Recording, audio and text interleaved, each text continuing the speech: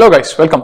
So uh, today in this video, we're going to look at uh, what updates have happened in the last couple of days with regard to, uh, you know, the IPM exams that are going to be conducted this year.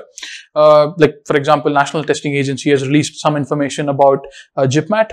Uh, IIM Indore has postponed its examination as has IIM Rohtak. So we'll look at that and also look at how that affects your preparation for your IPMAT exam this year.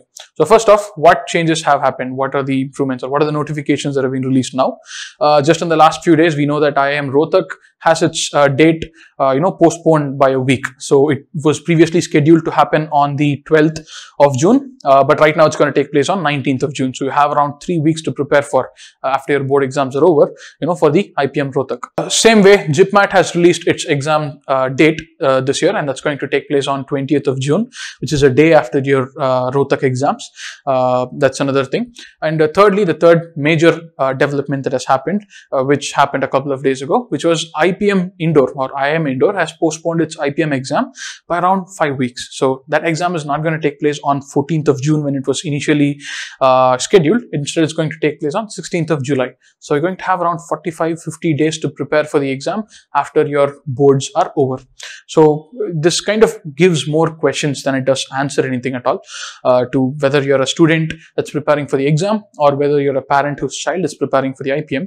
Everyone's wondering how this affects your preparation for the exam. So I'm going to talk about uh, uh, like there are going to be some exceptions to this, but on an overall level, most students are going to be done with their board exams by the end of May or latest by 1st or 2nd of June.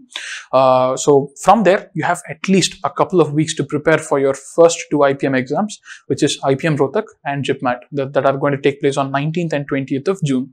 So even for that, you have some amount of time to, you know, prepare for, meaning you can, you can, you can do a little bit of revision of topics, you can practice a lot of questions, take a few mock tests, all all of this is stuff that you could not have done in 10 days, but you can definitely do in a couple of weeks or, you know, 20 days or something like that. Uh, that's one part. Uh, more importantly, you'll have around five weeks to prepare for Indore, which is essentially the amount of time that you actually have to prepare, that you need to prepare, that you'll need in order to prepare for the IPMAT Indore examination. So you can take a big chunk of your preparation for the IPMAT and finish it off after your board exams are over. Uh, so you, the, the, the, pressure of handling your boards and your IPM exam right now is not going to be there. Uh, just a caveat at the end of the video right now. Uh, I, the board exam, the exams have been postponed. Yes, there's enough time to prepare after the board exams are over. All of that, yes.